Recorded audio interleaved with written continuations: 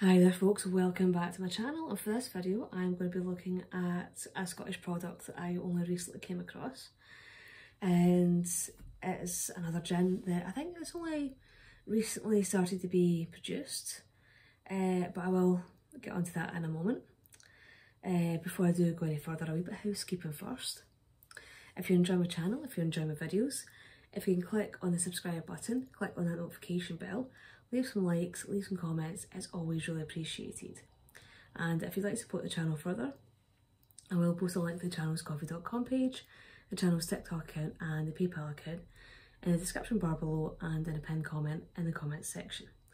So with that out the road, what I'm going to be talking about is uh, the Sky Garden Gin from the Dark Art Distillery. So they are a Galloway gin and trying to angle it, it's not getting too much a reflection on it. But I actually do really like the bottle on this. So I don't know how clear it is it actually comes out, but uh, what design they have on the bottle essentially is a forest and you can see the constellations on the side of the bottle. And essentially that is to celebrate the fact that the Galloway region of Scotland, which is part of Dumfries and Galloway, which is right down the south west of Scotland, is a, a dark sky area uh, in Scotland.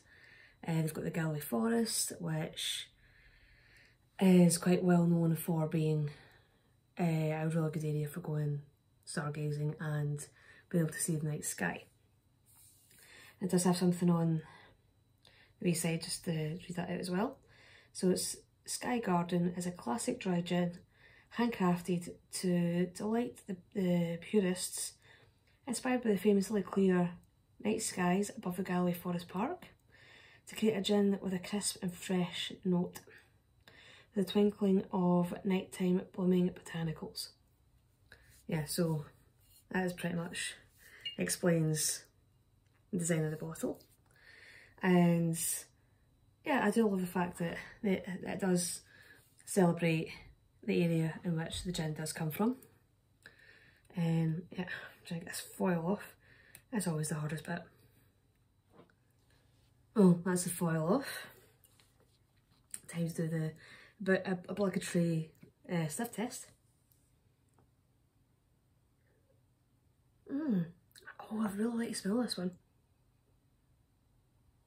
It just has that kind of really subtle, kind of very botanical smell to it.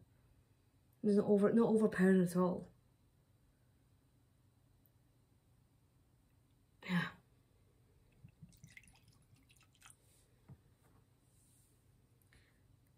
yeah. And oh, has it back on. It's a bit of a kind of citrusy smell to it as well. So probably kind of quite nice with a little bit of orange or a little bit of lemon. So, the obligatory taste test before I put the tonic in.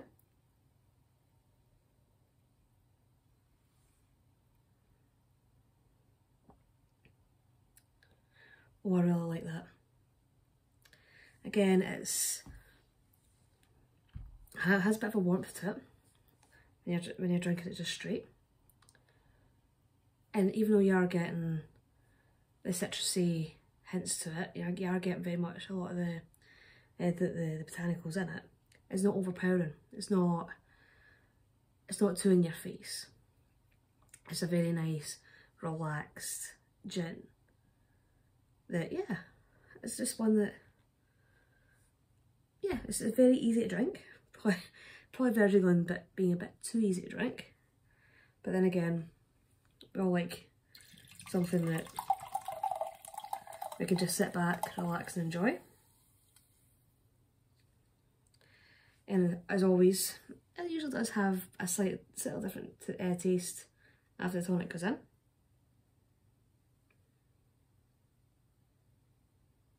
Yeah, very subtle.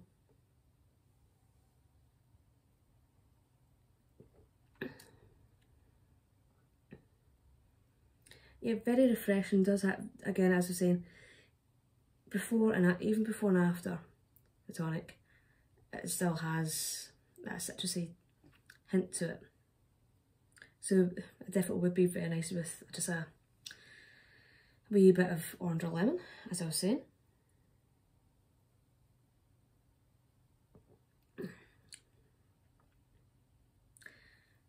Yeah, it's, a very, very nice gin. Very, very subtle flavours. Very easy to drink. And yeah, it's definitely one that I will be adding to my list of gins that I will, will buy in future. And because sometimes you find with some gins, they put uh, they put in far too much effort into the, the bottle and not enough effort into the gin. Uh, with the Dark Art Distillery, I think they've struck a really nice balance. They have a really nice striking bottle, which when you do see it on display, you, it does catch your eye. But the gin itself is a very nice gin. Very palatable, very clean, very fresh. Again, as I was saying, has that citrusy, citrusy undertone. Very easy to drink. And yeah, so if you're ever, if you're ever in Kirkcudbright and you are maybe going to want to get a bottle yourself, if you go into the, the Johnston building, which is where the distillery is located, so they are neighbours with the Deep Space Planetarium.